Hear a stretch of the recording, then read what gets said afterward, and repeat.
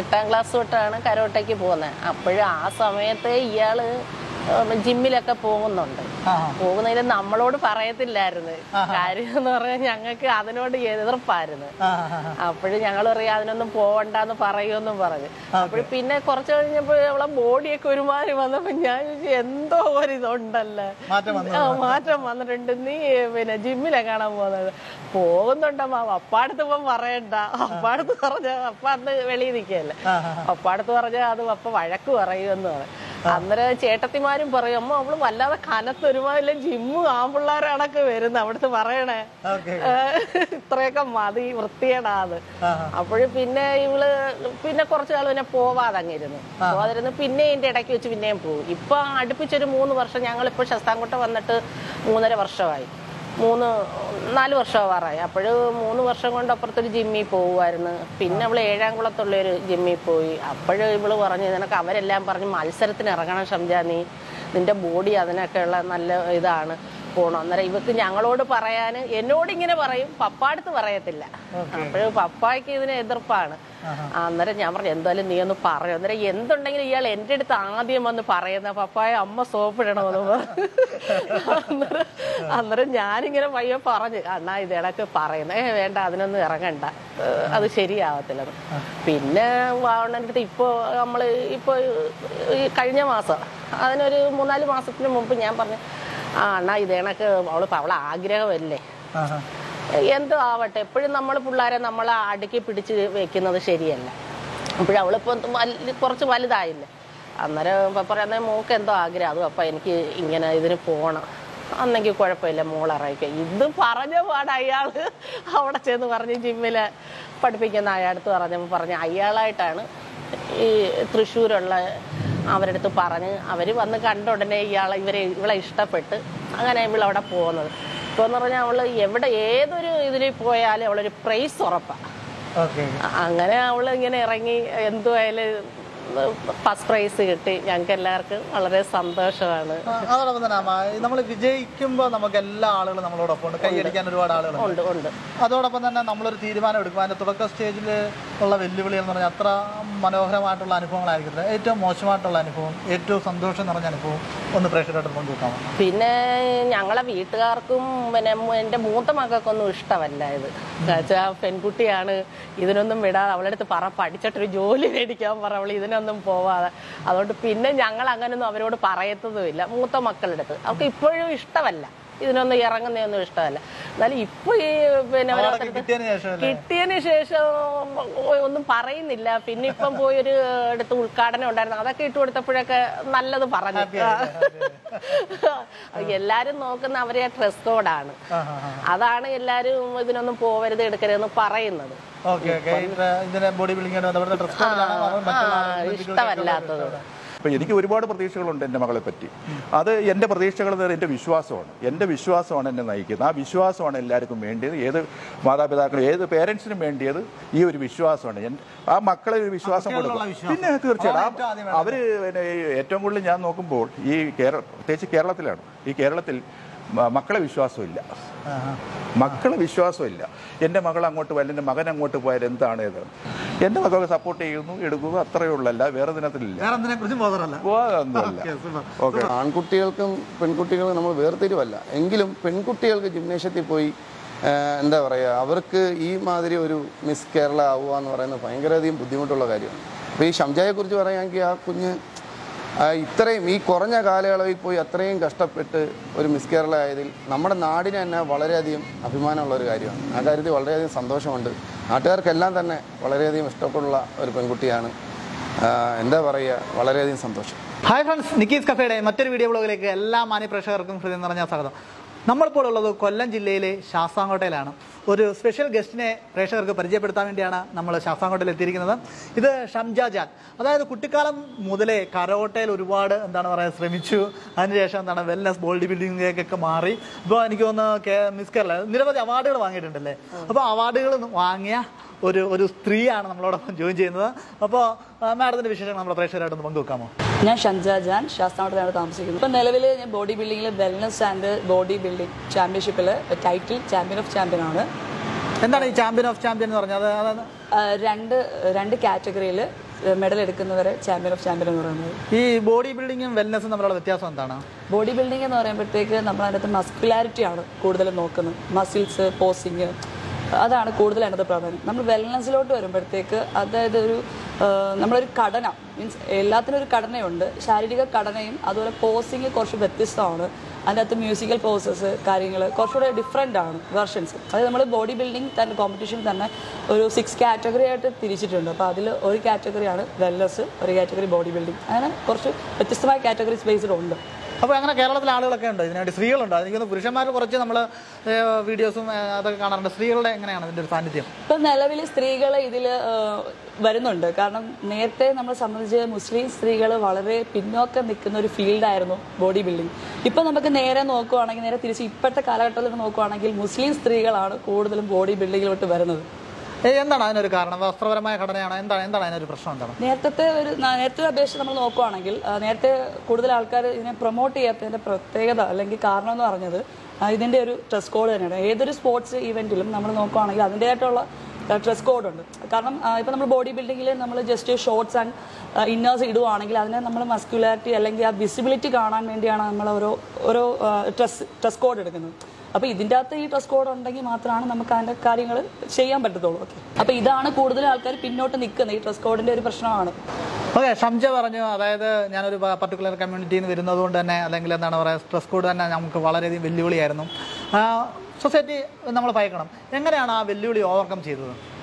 നമ്മൾ വെല്ലുവിളിയെ ഓവർകം ചെയ്യുക എന്ന് പറയുന്നത് നമ്മൾ എന്നെ സംബന്ധിച്ചെന്ന് പറഞ്ഞാൽ ഞാൻ മറ്റുള്ളവർ പറയുന്ന ഒന്നും എങ്ങനെയൊന്നും കേൾക്കാറില്ല. മീൻസ് എന്റെ പേരൻസ് ആണ് എനിക്ക് വലുത്. കാരണം നമ്മളെപ്പോഴും നോക്കേണ്ടത് നമ്മുടെ മാതാപിതാക്കളാണ്. കാരണം നാട്ടുകാർക്ക് എന്തും പറയാം. ജനങ്ങളാണ്. ജനങ്ങൾ പല വിധമാണ് അപ്പോഴത്തേക്ക് അവരെ രീതിയിൽ നമ്മളെല്ലാം വെച്ച് നോക്കിക്കഴിഞ്ഞാൽ നമുക്ക് എവിടെ എത്തില്ല നമ്മൾ ലക്ഷ്യത്തിൽ മുമ്പോട്ട് പോകണമെങ്കിൽ നമ്മളായിട്ടുള്ള തീരുമാനങ്ങൾ വേണം. അതുപോലെ ഫസ്റ്റ് ഓഫ് ഓൾ നമ്മൾ സപ്പോർട്ട് എപ്പോഴും നമ്മുടെ പേരൻസ് ഫാമിലി സപ്പോർട്ട് എപ്പോഴും ഉണ്ടെങ്കിൽ മാത്രമേ നമുക്ക് ഏതൊരു എന്നെ സംബന്ധിച്ച് മറ്റുള്ളവരുടെ കാര്യം ഞാൻ പറയുന്നില്ല. പല ആൾക്കാരും പല ഒറ്റയ്ക്കൊക്കെ നിന്ന് പോരാടി മുമ്പോട്ട് പോയ സ്ത്രീകൾ നമുക്ക് കാണാം. പല ആൾക്കാരെ ഇപ്പോഴും നമ്മൾ ഇന്റർവ്യൂസ് കാണുന്നുണ്ട്. അപ്പോൾ എന്നെ സംബന്ധിച്ച് എല്ലാവരും പറയുവാണെങ്കിൽ എന്റെ ഫാമിലി സപ്പോർട്ടാണ് ഞാൻ ഇപ്പോൾ ഇവിടം വരെ ഇപ്പോൾ നിങ്ങളുടെ അടുത്ത് സംസാരിക്കാൻ വരെ കാരണമായത് എന്റെ ഫാമിലി സപ്പോർട്ടാണ് ഫാമിലി സപ്പോർട്ടാണ് അതോടൊപ്പം തന്നെ എനിക്കൊന്ന് താങ്കളൊരു സംരംഭം കൂടിയായി. കാരണം എന്ന് വെച്ചാൽ ഈ ഒരു സ്ഥാപനം താങ്കൾ റൺ ചെയ്യുന്നു. എന്താണ് ഇതുകൊണ്ട് താങ്കൾ ഉദ്ദേശിക്കുന്നത്? എന്താണ് സൊസൈറ്റിക്ക് വേണ്ടി എന്താണ് താങ്കൾ ഒരു മൂല്യം ഉണ്ടായിരിക്കുമല്ലോ? എന്താണ് ഉദ്ദേശിക്കുന്നത്? ഞാൻ ഫിറ്റ്നസ് ഇട്ടതെന്ന് പറഞ്ഞാൽ നമ്മുടെ സ്ത്രീകൾക്ക് ഒന്നാമത്തെ കാര്യം എന്ന് പറഞ്ഞാൽ നമ്മളെ സ്ത്രീകളെ ഇപ്പോഴും കൂടുതൽ ആൾക്കാർക്ക് അവയർനെസ് ഇല്ല.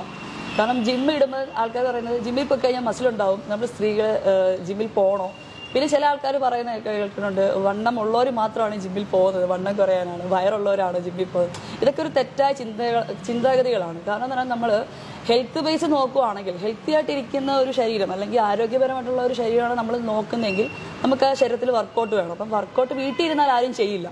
അതാണ് ഒന്നാമത്തെ കാര്യം. നമ്മളിപ്പോൾ ഒരു ട്രെയിനറിന്റെ അടുത്ത് പോവുകയാണെങ്കിൽ അവരെ നിർദ്ദേശം അനുസരിച്ച് അല്ലെങ്കിൽ നമ്മൾ പൈസ കൊടുക്കുന്നുണ്ടല്ലോ എന്നും പറഞ്ഞെങ്കിൽ കുറച്ച് ചെയ്യുന്നുണ്ട്.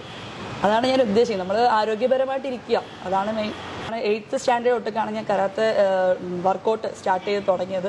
ഒരു സ്കൂളിലായിരുന്നു ഞാൻ ആദ്യം പ്രാക്ടീസ് ചെയ്ത് വെക്കേഷൻ ക്ലാസ് ആയിട്ട് പോയത്. അപ്പോൾ അതിൽ എനിക്ക് കുറച്ച് ഇൻട്രസ്റ്റിംഗ് തോന്നി. ഞാൻ പിന്നെ അക്കാഡമിക് ക്ലാസ് ആയിട്ട് പോയി. പിന്നെ അതിനുശേഷം ഞാൻ ചാമ്പ്യൻഷിപ്പുകൾ കാര്യങ്ങളായിട്ട് ഇറങ്ങി.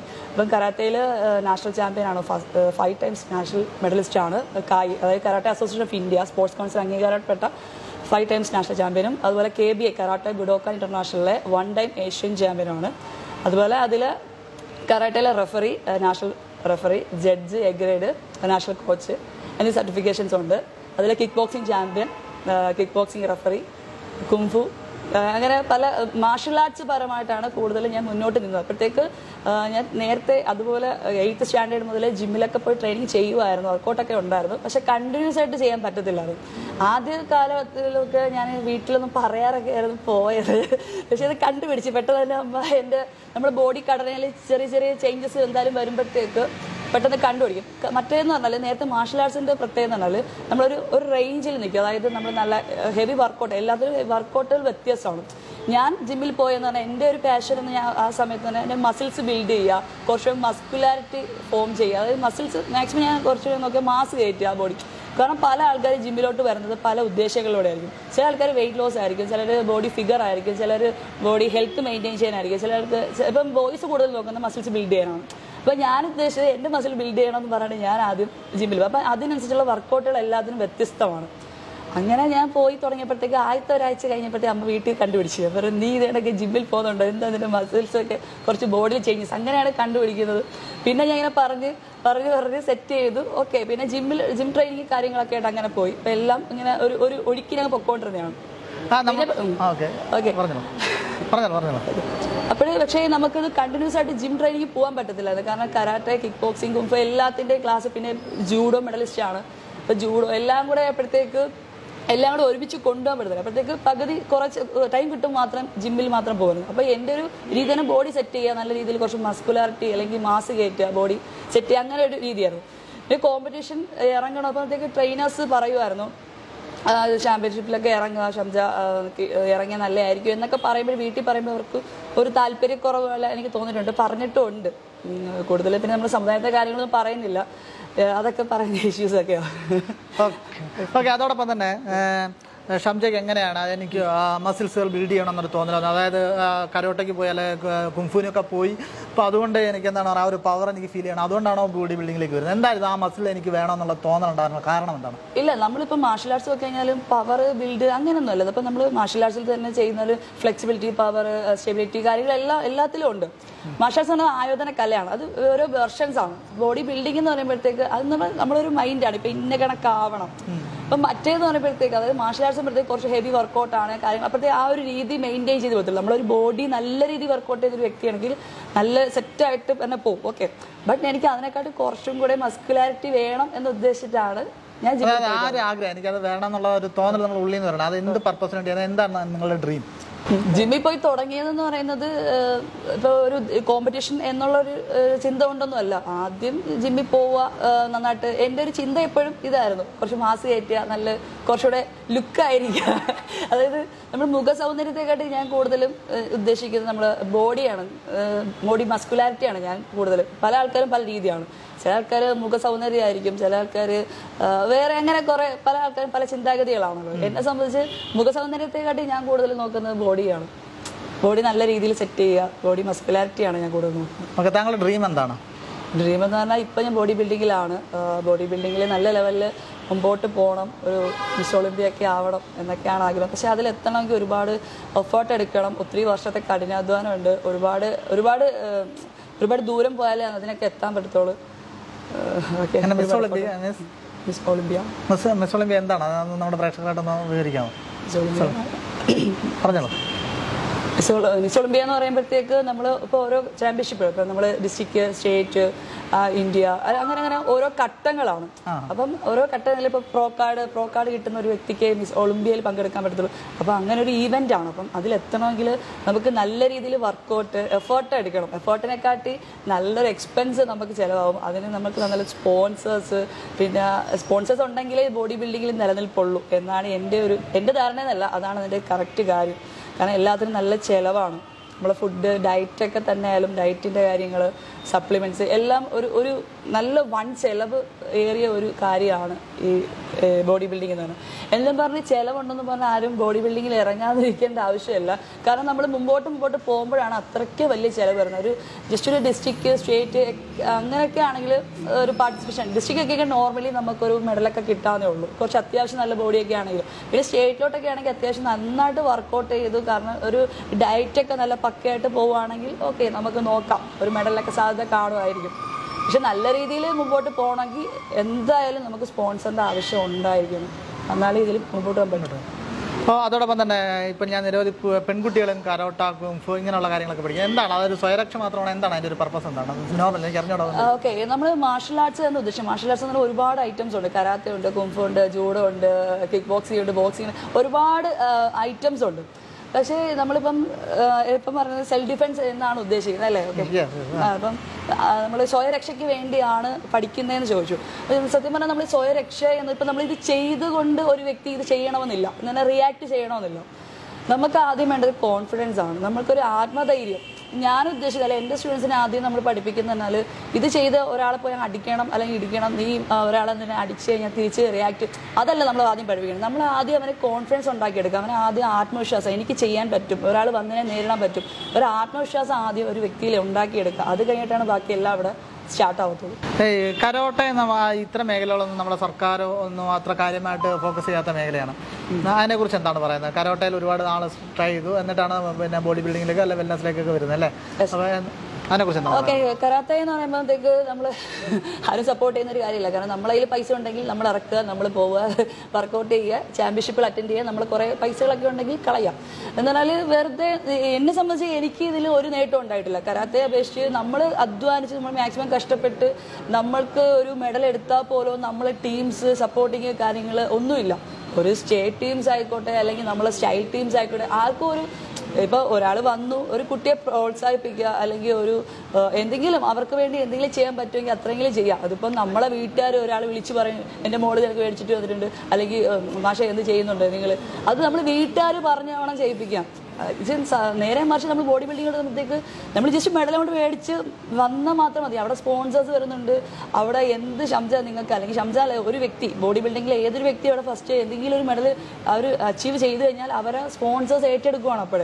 ഞങ്ങൾ ഇതിൽ ടീമിലോട്ട് കയറുമോ ഞങ്ങൾ നിങ്ങൾക്ക് എന്ത് വേണം ചെയ്യില്ല സപ്ലിമെന്റ്സ് കാര്യങ്ങൾ അല്ലെങ്കിൽ നിങ്ങളെ കാര്യങ്ങളെല്ലാം നോക്കാം. നിങ്ങൾ ഞങ്ങളുടെ കൂടെ വന്നാൽ മതി. വർക്കൗട്ട് എന്ന് പറഞ്ഞ് അല്ലെങ്കിൽ ജോലി സാധ്യത ഉണ്ട് എന്നും പറഞ്ഞാണ് ആൾക്കാർ വരാൻ ക്യൂ ആണ്. പക്ഷെ നമ്മൾ ഇത്രയും നാൾ ഞാനാണെങ്കിൽ ട്വൽവ് ഇയേഴ്സ് അല്ലെങ്കിൽ തേർട്ടി ഇയേഴ്സ് കൂടുതൽ കരാത്തിൽ നിന്നിട്ടും എന്നെ എന്നെ സംബന്ധിച്ച് ഒരു ബെനിഫിറ്റ്സും ഇല്ല. കാരണം നമുക്ക് ഇങ്ങനെ പറയാം കുറേ സർട്ടിഫിക്കറ്റ്സുകൾ ഉണ്ട് അല്ലെങ്കിൽ ഫൈവ് ടൈംസ് അംഗീകാരപ്പെട്ട സർട്ടിഫിക്കറ്റ് ആണ് എന്റെ ഇരിക്കുന്നത്. പക്ഷേ എന്നെ സംബന്ധിച്ച് ഇത് കൊണ്ട് എനിക്ക് ഒരു പ്രയോജനം ഉണ്ടായിട്ടില്ല. പക്ഷെ പ്രയോജനം ഇല്ലാത്തവരല്ല ഉള്ളവരും ഉണ്ട് ഇതിൽ ഞാൻ വിമർശിക്കുകയല്ല വിമർശിച്ചാൽ നമുക്ക് ഇതിലൊന്നും നിൽക്കത്തില്ല പിന്നെ വലിയ വിമർശനങ്ങളാവും. അതുകൊണ്ട് എനിക്ക് അധികം ഒന്നും ഞാൻ പറയുന്നില്ല. പറയാൻ ഒരുപാടുണ്ട് ബട്ട് സ്റ്റോപ്പ് ചെയ്യുവാണ്. ഇപ്പോൾ ഷംജ സ്പോൺസർഷിപ്പിനെ കുറിച്ചൊക്കെ എങ്ങനെയാണ് നമ്മൾ സ്പോൺസറിലേക്ക് എത്തുന്നത്? ഷംജയുടെ ഒരു കഥ എങ്ങനെയായിരുന്നു? എന്റെ സ്പോൺസർഷിപ്പ് എന്ന് പറഞ്ഞാൽ ഞാനിപ്പോൾ ഒരു ഫോർ മന്ത്സിൽ ഒരു ഏഴംകുളത്ത് എന്ന് പറഞ്ഞ ജിമ്മിൽ ഏഴംകുളം ശരത് മാഷിന്റെ അടുത്താണ് ഞാൻ ഇപ്പോൾ ട്രെയിനിങ് ചെയ്തത്. ഏഴംകുളം എന്ന് പറയുന്ന ജില്ലയിലാണ്? നമ്മൾ അടൂർ പത്തനംതിട്ട ജില്ല. അടൂർ സ്ഥലത്ത് ഏഴംകുളത്തുള്ള അവിടെയാണ് ഞാൻ വർക്ക് നേരത്തെ ഒരുപാട് ട്രെയിനേഴ്സിന്റെ അടുത്തായിരുന്നു. ഒരു മൂന്ന് വർഷത്തോളം ബിജു എന്ന് പറഞ്ഞ ഒരു ശാസ്താംകോട്ടല ജിമ്മിലായിരുന്നു. അപ്പോഴത്തേക്ക് ഞാൻ ഒരു ഫോർ മന്ത്സ് അപ്പോഴത്തേക്ക് പുള്ളിയെടുത്ത് ഞാൻ ഇങ്ങനെ പറഞ്ഞു ചാമ്പ്യൻഷിപ്പിൽ എനിക്ക് ഇറങ്ങാൻ താല്പര്യമുണ്ട് മാഷേ ഇപ്പോൾ എനിക്ക് അനുസരിച്ച് അപ്പം പുള്ളി പറഞ്ഞു ഒരു പിക്ക് ഇട്ടുതരാം ഫോട്ടോ ഇട്ടുതരാം അപ്പം ഞാൻ ജസ്റ്റ് ഒരു ഡബിൾ ബൈസെപ്സ് പിടിച്ചിരിക്കുന്ന ഒരു ഫോട്ടോ ഇട്ട് കൊടുത്തു. അങ്ങനെ ഫോട്ടോ ഇട്ട് കൊടുത്തത് നമ്മളെ തൃശ്ശൂരിലെ ടീം പീറ്റേഴ്സ് എന്ന് പറഞ്ഞ ഒരു ടീമിലാണ് അതായത് ബിജിൽ മാസ്റ്റർ ബിബിൻ മാസ്റ്റർ അപ്പൊ ഇവർ രണ്ടുപേരും ചേട്ടൻ തന്നെയാണ് അവർ ഓക്കെ അപ്പൊ അവരാണ് എന്നെ സ്പോൺസർ അപ്പൊ എന്റെ ഫോട്ടോ ഇട്ട് കൊടുത്തു. അപ്പൊ അവർ പറഞ്ഞു ഓക്കെ ഷംജ കയറി വാ നമുക്ക് ചാമ്പ്യൻഷിപ്പ് കാര്യങ്ങളൊക്കെ ഇറങ്ങുന്നു വരുന്നുണ്ട്. അപ്പൊ നമുക്ക് അവളെ സെറ്റ് ചെയ്ത് നമുക്ക് അവളെ താല്പര്യം അങ്ങനെയല്ലേ? അങ്ങനെയാണ് അവരാണ് എന്നെ ഏറ്റെടുത്തത്. ഇപ്പോഴും അവർ തന്നെയാണ് എന്റെ സ്പോൺസർ സ്പോൺസർ എന്ന് പറയാൻ പറ്റത്തില്ല എനിക്ക്. സത്യം പറഞ്ഞാൽ എന്റെ ഒരു ഫാമിലി പോലെയാണ്. എനിക്ക് ഭയങ്കര സപ്പോർട്ടായിരുന്നു ഒരു ട്വന്റി ഫൈവ് ഡേയ്സ് ഞാൻ തൃശ്ശൂർ തന്നെയായിരുന്നു. എന്റെ ഒരു ഫാമിലിയിൽ എങ്ങനെയാണോ ഞാൻ അവിടെ നിന്നത് എന്റെ കുടുംബത്തെ നിൽക്കുന്നതാണൊക്കെ എനിക്ക് തോന്നിയിട്ടുള്ളത്. തൃശ്ശൂരുകാരെന്നൊക്കെ പറഞ്ഞാൽ സത്യം പറഞ്ഞാൽ നമ്മൾ കൊല്ല ആരെ ആക്ഷേപിക്കുകയോ അല്ലെങ്കിൽ ചിത്ത വേറെ രീതിയിലൊന്നും അല്ല പക്ഷെ നമ്മളെ ഇവിടെ കാണിക്കുന്ന അല്ല സ്നേഹം നല്ല ആൾക്കാരാണ് കേട്ടോ. എല്ലാ തൃശ്ശൂർക്കാർക്കും അതാണ് എല്ലാ തൃശ്ശൂരാർക്കും എന്റെ വലിയൊരു ഹായാണ് കാരണം എനിക്ക് ഭയങ്കരമായിട്ട് ഇഷ്ടപ്പെട്ടു നല്ല ആൾക്കാരാണ് എല്ലാവരും നല്ലതാണ്. എന്നാലും എന്നെ എന്നെ ഒരുപാട് സപ്പോർട്ട് ചെയ്ത് ഒരുപാട് ഇരുപത്തഞ്ച് ദിവസം എന്ന് പറഞ്ഞാൽ എനിക്ക് ഒരുപാട് വർഷങ്ങൾ കണക്കാണ് അവിടെ തോന്നിയത്. ഭയങ്കര ആത്മബന്ധമാണ് തോന്നിയത്. അതുപോലെ എന്റെ എന്റെ എല്ലാ കാര്യത്തിലും ഓരോ സമയത്തും വന്ന് ചോദിക്കും ശബ്ദം എന്തെങ്കിലും പ്രശ്നങ്ങളുണ്ടോ? എന്തെങ്കിലും നമുക്ക് അറേഞ്ച് ചെയ്യണോ? ഇപ്പോൾ ഞാനൊരു എന്നെ ഒരു ഫ്ലാറ്റിലായിരുന്നു താമസിച്ചത്. അപ്പോൾ ഞാൻ അപ്പോഴത്തേക്ക് അവിടെ നിന്ന് എന്തെങ്കിലും ബുദ്ധിമുട്ടുണ്ടോ? നമുക്ക് വേറെ അടുത്ത് ചേഞ്ച് ചെയ്യണം അങ്ങനെ ഓരോ നിമിഷവും എത്ര സമയം ഏത് പാതിരാത്രിക്ക് നമുക്ക് എന്തെങ്കിലും ആവശ്യമുണ്ടെങ്കിൽ വിളിച്ച് കഴിഞ്ഞാൽ അവർ അപ്പോഴേ ഫോൺ എടുക്കും. എന്ത് ആവശ്യമായാലും നമ്മളവിടെ നിറവേറ്റി തരും. അങ്ങനെ ഒരു സ്പോൺസേഴ്സ് ആയിരുന്നു. എനിക്ക് പല ആൾക്കാരും ഞാൻ പറഞ്ഞു കേട്ടിട്ടുണ്ട്. സ്പോൺസേഴ്സിനെ പല രീതിയിൽ വേറെ രീതിയിലൊക്കെ അവരെ ഉപയോഗിക്കും. അങ്ങനെയൊക്കെ കേട്ടിട്ടുണ്ട്. നെഗറ്റീവായിട്ടുള്ള കുറേ അനുഭവങ്ങളുണ്ട്. പക്ഷേ എന്നെ സംബന്ധിച്ചിടത്തോളം എനിക്ക് അങ്ങനെയുള്ള രീതിയൊന്നും ഉണ്ടായിട്ടില്ല. ബട്ട് നല്ല ആൾക്കാരായിരുന്നു. നല്ല രീതിയിലായിരുന്നു. എനിക്ക് ഇരുപത്തഞ്ച് ദിവസം അവിടെ നിന്നുള്ളത് എനിക്ക് ഭയങ്കര ഹാപ്പി ആയിരുന്നു. എനിക്ക് അവരെ സപ്പോർട്ടും എന്റെ വീട്ടുകാർ സപ്പോർട്ടും കാര്യങ്ങളെല്ലാം ഉണ്ടായതുകൊണ്ടാണ് ഞാനിപ്പം ഇവിടെ നിൽക്കുന്നത്. ഇങ്ങനെ വലിയൊരു അച്ചീവ്മെന്റ് അച്ചീവ്മെന്റ് എനിക്ക് നേടാൻ കഴിഞ്ഞത് തന്നെ ഷംജ ഇനിയും ഒരുപാട് ഒരുപാട് ഉയരങ്ങൾ എത്തിക്ക എത്തട്ടെ എന്ന് ആശംസിക്കുന്നു. ഞാൻ ശാസ്താംകോട്ട വി കോളേജിലാണ് പഠിച്ചത്. അപ്പോൾ ശാസ്താംകോട്ടയിൽ നിന്ന് എന്താണ് പറയുക ഒരു ഒളിമ്പിക്സ് വരെയൊക്കെ എത്തുന്ന ഒരാളുണ്ടെങ്കിൽ അപ്പോൾ നമ്മൾ ഇന്ന് പരിചയപ്പെട്ടിട്ടുണ്ട്. അപ്പോൾ ഷംജയുടെ എല്ലാ ഉയർച്ചകളും ഞങ്ങൾ ആശംസിക്കുകയാണ്. അതോടൊപ്പം തന്നെ അഭിമാനം ഉണ്ടാവും ഉയരങ്ങളിലേക്ക് എത്തുമ്പോൾ എല്ലാവിധ ആശംസകളും. അപ്പോൾ ഈ പ്രോഗ്രാം ഇവിടെ വെച്ച് അവസാനിപ്പിക്കുകയാണ്. പ്രേക്ഷകരോട് എന്തെങ്കിലും പിന്നെ പ്രചോദനപരമായ എന്തെങ്കിലും കാര്യങ്ങളൊക്കെ പറയാനുണ്ടെങ്കിൽ പറഞ്ഞിട്ട് നമുക്ക് വീഡിയോ നിർത്താം. കൂടുതൽ എന്റെ വീഡിയോസ് കാണുന്ന കുട്ടികളാണ്. കുട്ടികൾ അല്ലെങ്കിൽ ഇതുപോലെ ബോഡി ബിൽഡിംഗ് ചെയ്യണമെന്ന് താല്പര്യമുള്ള കുറേ എന്റെ പ്രായക്കാരൊക്കെയാണ്. ഞാൻ ഇങ്ങനെ വീഡിയോസ് ഒക്കെ അപ്ലോഡ് ചെയ്യുമ്പോൾ പറയും കേട്ടിട്ടുണ്ട്. ചേച്ചി പോലെ ആകണം. അല്ലെങ്കിൽ ഞങ്ങൾക്ക് അതുപോലെ ആകാൻ എനിക്ക് ആഗ്രഹമുണ്ട്. പക്ഷേ വീട്ടിൽ സപ്പോർട്ടില്ല എന്ന് പറയുന്ന ആൾക്കാരുണ്ട്.